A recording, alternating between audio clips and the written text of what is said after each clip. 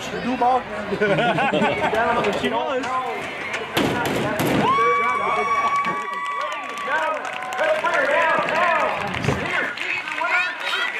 Kid's walking in.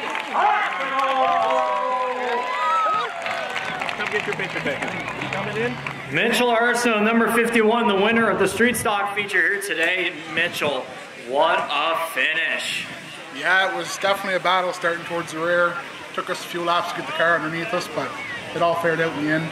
My car and Mike's car comes out of the same stable, so at the end of the day, one of us was hopefully going to get us.